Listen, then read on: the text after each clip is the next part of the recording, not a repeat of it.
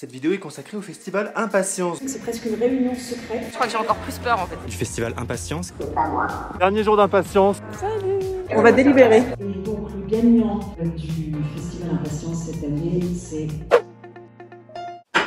Bonjour à toutes et à tous et bienvenue sur la chaîne YouTube Ronan au théâtre. Alors nous sommes le samedi 9 janvier. Vous verrez cette vidéo beaucoup plus tard. Beaucoup plus tard, c'est-à-dire a priori le le le euh, A few moments later.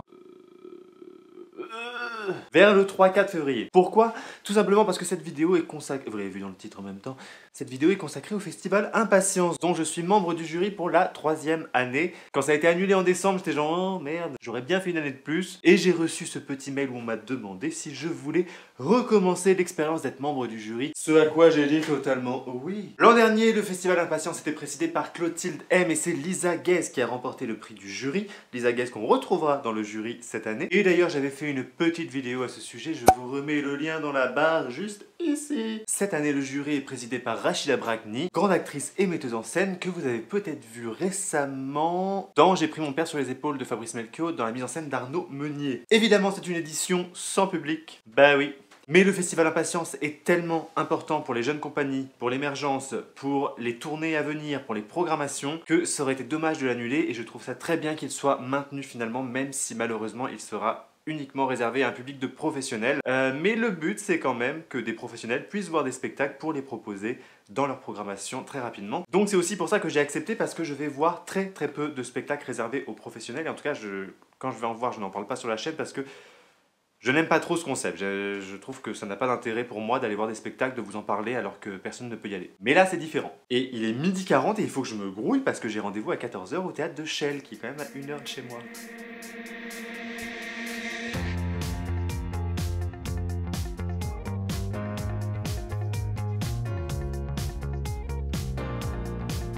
Mesure que, euh, que c'est plus qu'un luxe de, pouvoir voir du théâtre, de, euh, de pouvoir avoir accès à la culture, où on en est privé depuis un petit moment maintenant. Et j'ai l'impression que c'est presque une réunion secrète. Coup d'envoi du festival. Maintenant, on commence tout de suite avec Home, morceau de nature en ruine, ruine de Magritte Coulon. Voilà, c'est tout de suite. On y va, on en parle après.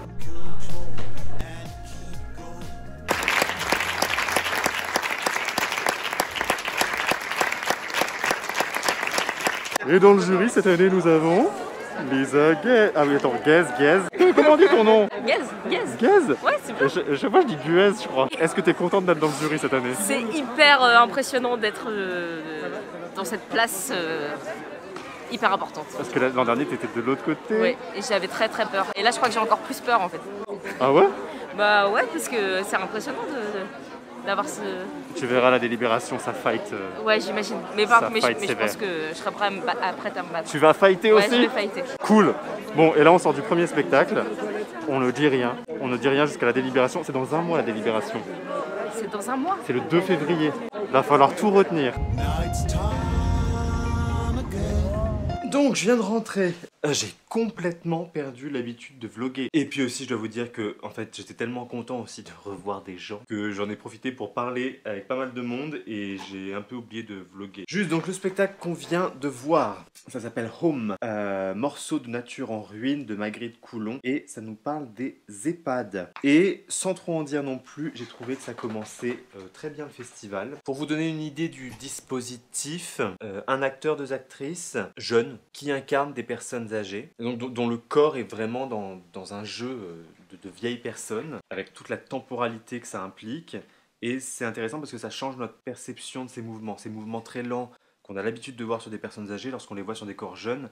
Ça change complètement la lecture qu'on en a. Un rapport au temps très très présent dans, dans la pièce. Beaucoup de lenteur, tout un processus de mise en condition pour bien comprendre le temps, le temps de la maison de retraite. Un départ extrêmement naturaliste pour aller vers quelque chose de plus théâtral, euh, plus bah, comme le titre l'indique, plus vers, vers la ruine, vers le, le chaos, mais il y a quelque chose d'un peu métaphorique dedans. On s'éloigne a priori d'une maison de retraite euh, réel, enfin j'espère. Tous les dialogues, tout ce qui est joué et dit, et en fait est préenregistré et est enregistré réellement dans des maisons de retraite. Et les comédiens et comédiennes sur scène ne font que euh, jouer les textes en playback. Ce qui est intéressant parce qu'on a des paroles euh, réelles, rapportées, et le choix, je pense qu'il y a eu beaucoup d'enregistrements pour créer ce spectacle, et je dois dire que je trouve le choix particulièrement fin. Ça aborde à la fois la question euh, de la maison, ces maisons de retraite qu'on appelle home, donc maison en Belgique, euh, beaucoup ne la considèrent pas comme une maison, donc c'est un sujet qui est abordé.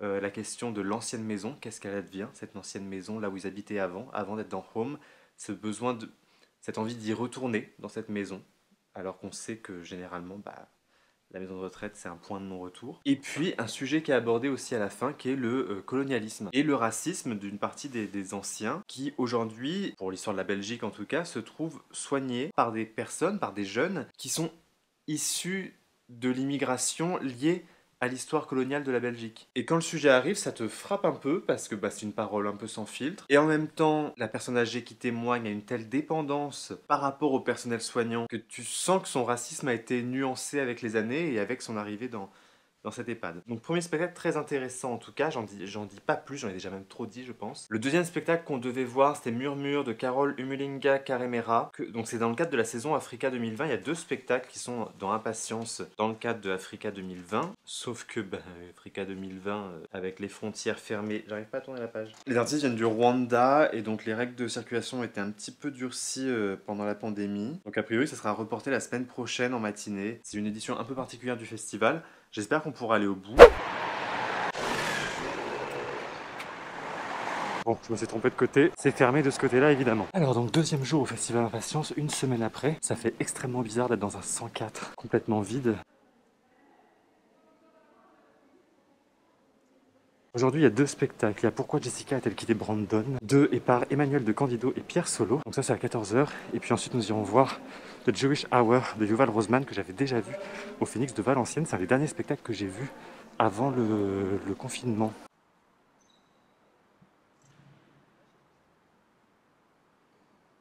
Donc pourquoi Jessica a-t-elle quitté Brandon? Eh bien c'est la question qu'on va se poser dans un, Starbucks, si j'ai bien compris. Parce qu'on sait qu'elle va le quitter, ça c'est sûr. Apparemment c'est le gros spoil du truc, c'est que de toute façon elle le quitte. Comme une bonne vieille tragédie, on sait, mais on sait pas pourquoi, on sait pas comment. Un truc que je fais tout le temps, je devrais pas, mais je le fais quand même, c'est je regarde les coproductions, les productions, etc. Et les soutiens. Par exemple, Lisa Guez l'an dernier, dans l'onglet euh, production soutien, il n'y avait rien. Il n'y a pas un seul mot. Et t'en as qui ont une demi-page. Et non pas que ça joue sur la décision finale ni sur la, qualité artistique. Il y a peut-être des éléments où on est plus indulgent. Par exemple, sur la création lumière, euh, quelqu'un qui aura aucun soutien va plutôt regarder euh, les idées de la création lumière plutôt que la création lumière en elle-même. Voilà, voilà. Bon, bah, on va y aller. Il est l'heure.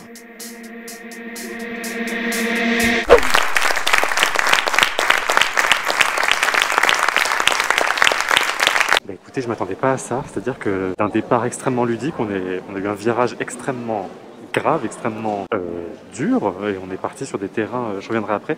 Là, on enchaîne avec un autre truc qui est pas si simple non plus quand même. C'est Yuval Roseman pour The Jewish Hour.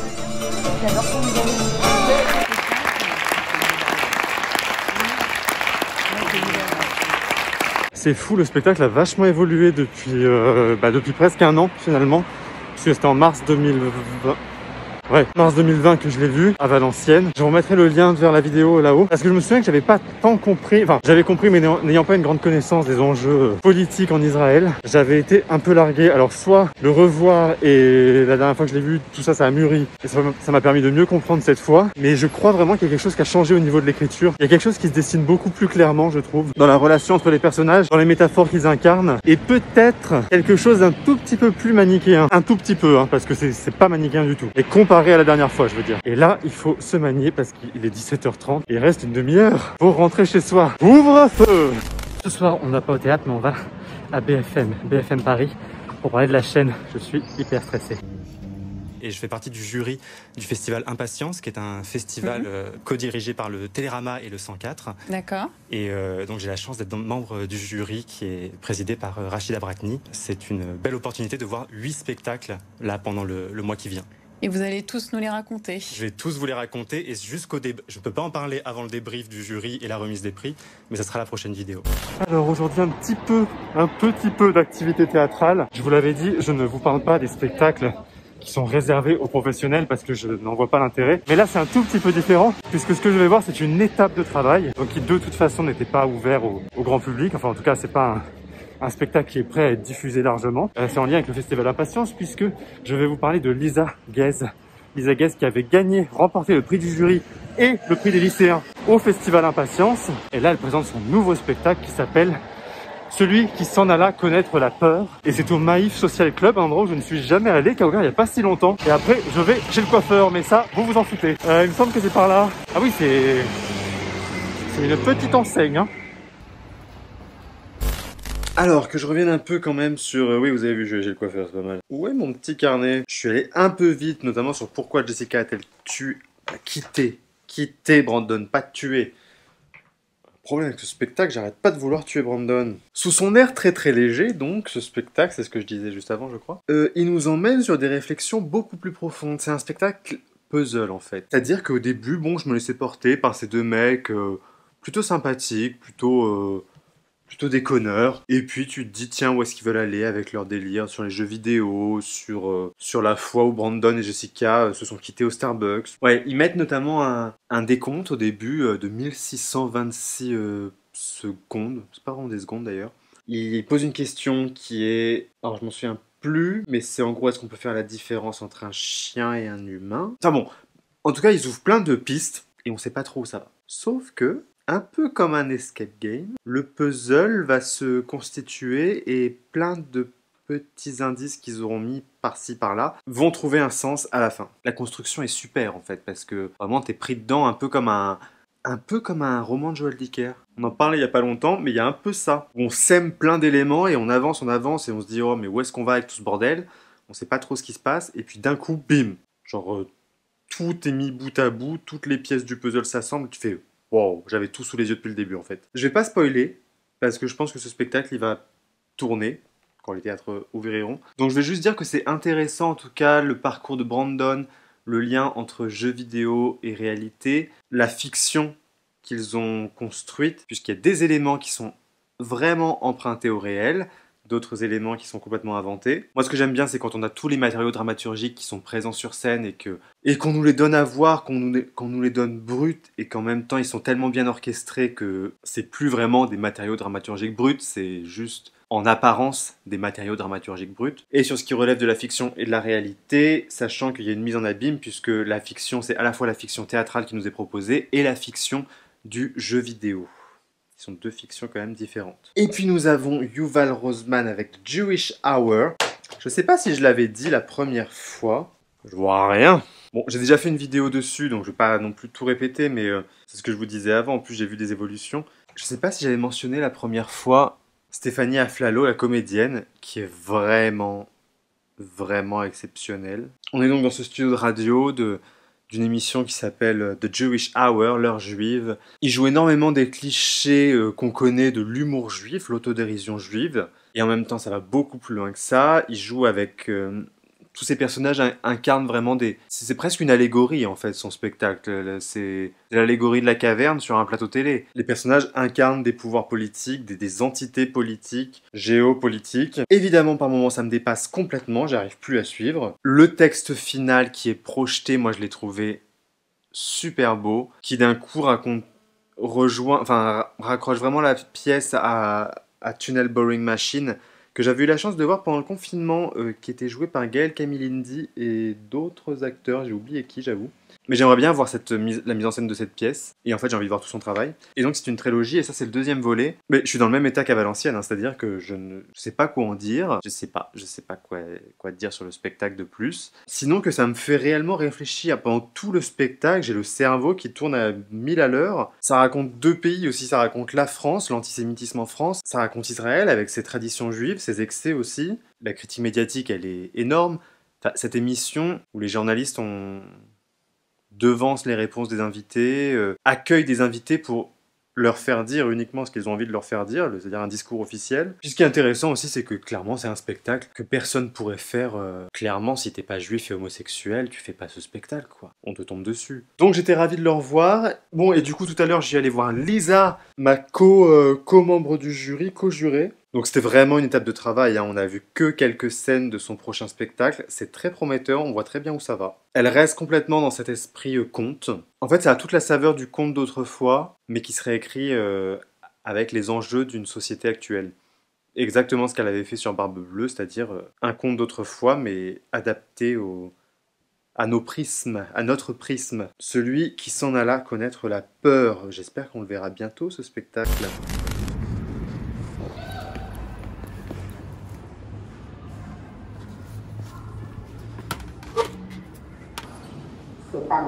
Bon, ce festival Impatience, on en est où? Il s'est passé pas mal de temps entre la dernière fois où je suis venu au 104 et aujourd'hui, tout simplement parce que j'ai raté deux spectacles. Je sais pas trop comment le justifier autrement qu'en vous disant euh, ce qui s'est passé. Euh, tout simplement dimanche dernier en venant au 104, en partant de chez moi, je me suis fait agresser, euh, rien de trop violent, rassurez-vous, mais quand même euh, suffisamment choqué et un téléphone volé pour euh, faire demi-tour, rentrer chez moi. Et donc ne pas assister au spectacle Radio... Oh non, Radio On s'est annulé, pardon. Pas assister au spectacle Inconsolable de Nadège Catalino et Julien Frégé, et puis euh, Voyage Voyage de Anne-Lise Heimberger. Ça, c'est pour ce que j'ai raté la semaine dernière. Juste avant, dans le vlog, je vous avais dit qu'il y avait deux spectacles qui étaient annulés, Murmure et 7 mouvements Congo. Donc Murmure est bien annulé. En revanche, 7 mouvements Congo est, est maintenu et je le verrai demain juste avant la délibération du jury. Aujourd'hui, je suis au 104 pour aller voir l'expérience de l'arbre de Simon Gaucher de la compagnie L'école parallèle imaginaire. Et c'est la rencontre entre un acteur de théâtre No, Tatsushige Udaka, et le metteur en scène Simon Gaucher. Et on va voir ça tout de suite, c'est dans salle 200 par là-bas.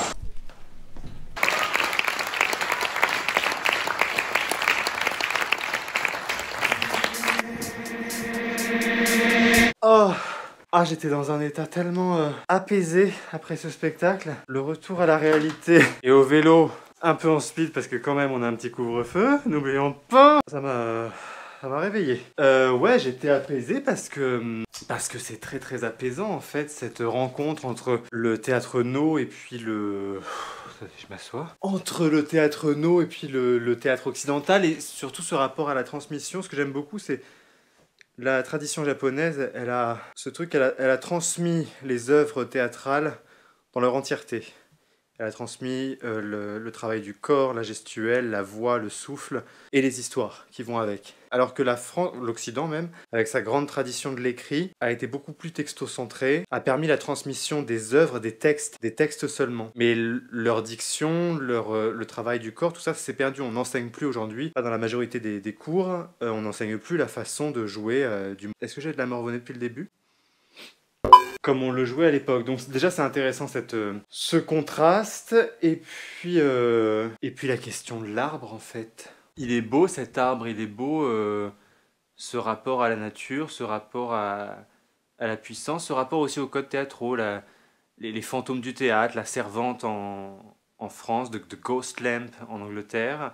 Vous savez cette lumière qu'on met sur la scène la nuit, parce qu'un plateau ne doit jamais être plongé complètement dans le noir. Au Japon, on a une autre source na- naturelle, vive, comme ça, un peu pure. Nous, c'est la lumière, eux, c'est un arbre. Il y a toujours un- l'ombre d'un arbre qui est peinte euh, dans les décors de No. Je m'y connais peu en eau, moi. hein, euh, J'ai peu de références, je m'y connais plus en kabuki, pour le coup. Voilà Il est quelle heure, là? Mais il faut que je me dépêche. Dans une heure, il y a la diffusion live sur euh, ma chaîne YouTube du quiz sur les pires avis Google des théâtres. Allez, boire un coup quand même. Dernier jour d'impatience, dernier spectacle et délibération du jury tout à l'heure. Mais qui remportera le prix cette année?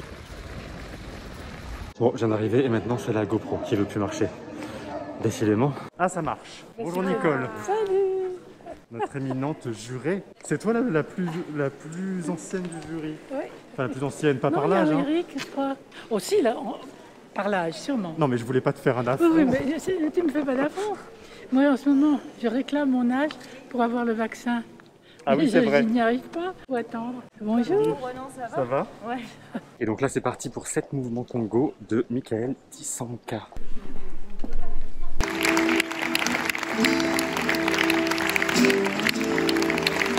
Bien Rachida, on sort du dernier spectacle. Oui, ça y est, on va délibérer. Ouais, direction à délibération. Est-ce que tu as déjà ton...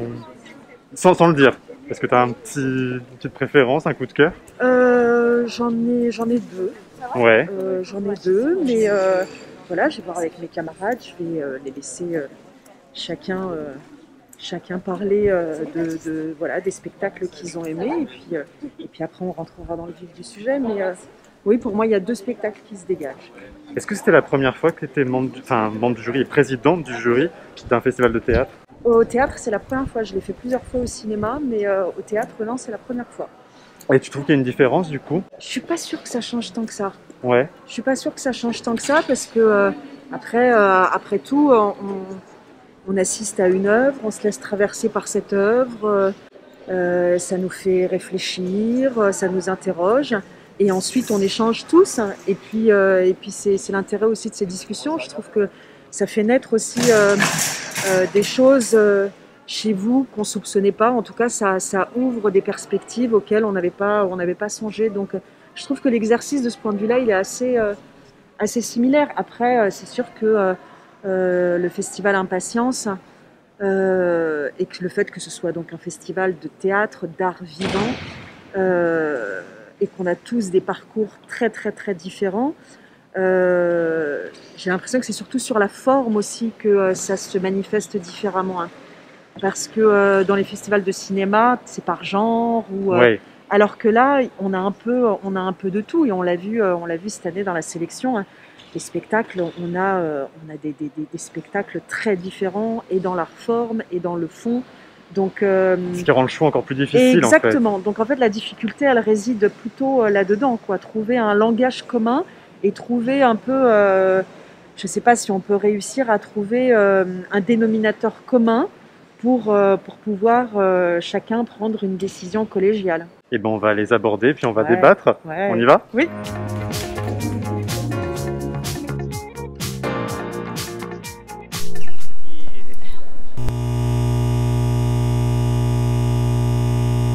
J'ai pas le droit de te parler encore. Ah. Le jury a délibéré.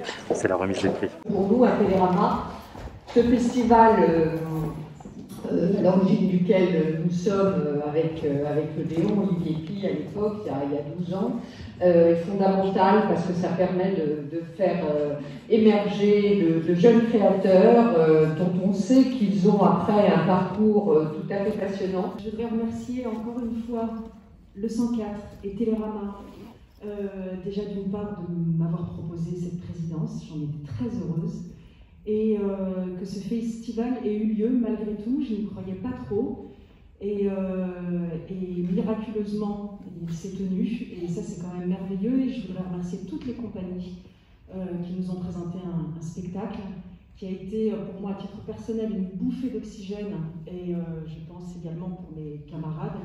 Et ça a été euh, une fenêtre, certes entr'ouverte, mais en tout cas, elle a été entr'ouverte vers un ailleurs. Et ça nous a fait euh, beaucoup de bien.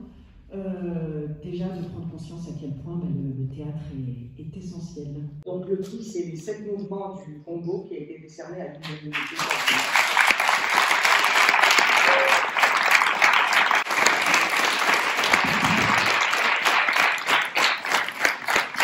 Je ne sais quoi dire. Merci, merci. Merci euh, pour ces prix qui viennent couronner euh, évidemment ces dix ans de, recherche théâtrale avec euh, tous mes amis qui sont là. C'est aussi à tous ces gens-là, à, à, tous mes morts que je dédie ce prix. merci. Ce festival nous a enrichis par sa diversité, son ouverture à d'autres cultures, ses propos souvent engagés qui nous ont parfois interpellés, émus, fait sourire. À l'heure du choix, qui n'a pas été sans déchirement. On a retenu le spectacle qui nous a paru à la fois complexe et simple, ludique et touchant. Pourquoi Jessica a-t-elle été en homme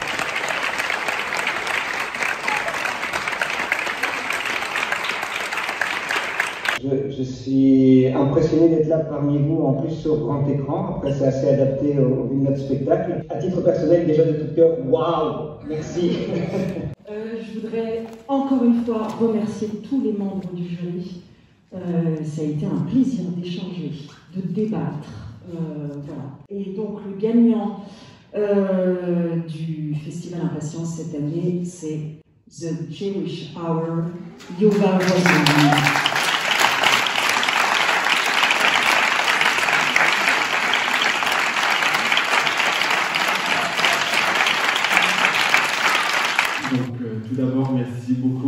À Gaël, Stéphanie, je ne sais pas si tu es là, oui, voilà, Stéphanie Aflalo. J'ai écrit ça euh, pour elle. Et à Romain aussi, à Camille, Carole, Antoine, toute l'équipe. euh, Et. euh, pardon. Et, euh, merci pour les gens qui écoutent et qui, et qui sont sensibles à ce qu'on essaye de, de faire sur ce sujet très complexe et sur bah, ce peuple qui était sans terre mais qui arrivait euh, dans, dans un pays euh, avec d'autres peuples. Et donc voilà, merci de, de nous permettre euh, l'opportunité de jouer ici.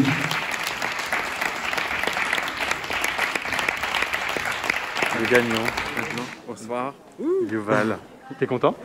Ouais, bah oui, très très content. Très ému, euh, très ému par, euh, par le choix. C'est pas du tout, c'était pas du tout évident. Et franchement, j'ai pas, j'ai pas cru que que les gens vont vont accepter cette proposition. Et j'étais très reconnaissant aussi de l'écoute du jury, du public, des, des gens qui étaient là. Moi, je l'avais vu à Valenciennes, il y a un an.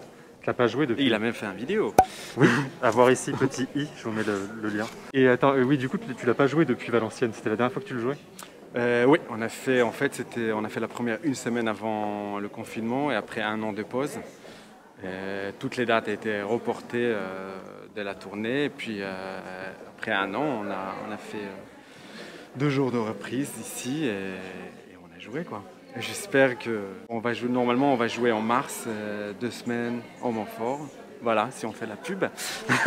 Surtout que là, tu as une autre grosse tournée qui va s'ajouter dessus, avec tous les, tout ce que tu viens de remporter euh, avec le festival. Bah ouais, j'étais tellement stressé donc j'ai pas trop écouté euh, ce qu'ils ce qu'ils ont dit, mais, mais ouais, ouais. Et là, ils- tu vas à Avignon, mon gars Ah oui, ah oui, c'est vrai. Ah, je suis trop content. Vraiment, je suis trop content. Enfin, ma famille euh, pourrait venir voir parce qu'elles étaient censées de venir déjà à Valenciennes. En fait, ça c'est très très important pour moi que ma famille d'Israël pourrait venir voir cette pièce parce qu'il y a un truc très personnel et, Ouais. et, euh, voilà. Donc oui, on va à Avignon. Parce que je ta famille, ils, ils- ils connaissent le sujet de la pièce quand même, ils savent à peu près ce que Bien sûr, et Oui. j'ai- tout traduit. On a fait une séance et demie, sauf le poème de la fin, qu'il est un peu. Tu veux pas le montrer à ta famille? J- J'avais, je lui dis, euh, vous pouvez euh, faire euh, euh, demander à vos amis qui parlent français, euh, donc ils vont trouver, mais je voulais pas les traduire, c'était un peu difficile pour moi, parce que c'est quand même sexuel et, et plus intime et, et, voilà, intime dans une autre manière. Si tu fais une tour... Tu penses que tu pourrais faire une tournée en Israël avec ce spectacle un jour Ou c'est chaud Malheureusement, non. J'aimerais bien. Moi, je suis un peu. Je crois, je rêve de, de présenter ça là-bas, mais pour l'instant, euh, tout ce que je faisais en France, le premier volet TBM, c'est pas des choses qui peuvent jouer en Israël. Il y a des, vraiment des règles très strictes euh, par le ministère de la Culture et ouais. Moi, ce que j'ai découvert par contre, et que je savais pas, que j'avais pas compris au premier... la première fois que je l'avais vu, c'est que BHL, c'est une vraie star en fait en Israël? Oui, oui, oui. En effet, c'est une, euh, c'est une très grande star. Et, et c'est quand je suis arrivé en France, j'ai compris le, le ce décalage et l'opinion euh, des Français sur, euh, sur BHL. Mais après, dans la pièce, BHL, c'est pas, du tout euh, les sujets. Ça pouvait être aussi. Oui, non, mais c'est une incarnation quand même, de quelque une, chose. ouais. J'utilise en fait une idée politique. Voilà, que, que certaines personnes représentent, dont. euh, Mais non, mais ce qui est drôle, c'est que du coup, la perception qu'on a de ce personnage est totalement différente. C'est ce qu'ils m'ont dit toujours, les interprètes, pendant, pendant les répétitions. Ouais. En fait, qu'on ne voit pas du tout les choses euh, pareilles, et tant mieux, mais ça a créé un- beaucoup de discussions avec eux euh, pour qu'on puisse comprendre et trouver le juste milieu. Bah écoute, merci, bravo. Ben, merci beaucoup, merci beaucoup. Et puis à bientôt. Alors juste avant de conclure la vidéo, quand même quelques mots sur sept mouvements Congo qu'on a, juste- qu'on a vu juste avant la délibération. C'est un spectacle pluridisciplinaire qui raconte vraiment les enjeux politiques euh, en- de la République démocratique du Congo. Ça raconte les années 2016-2017 euh, lorsque, euh, comment il s'appelle, euh, Joseph Kabila a annulé les élections pour rester à la tête de la, République démocratique du Congo.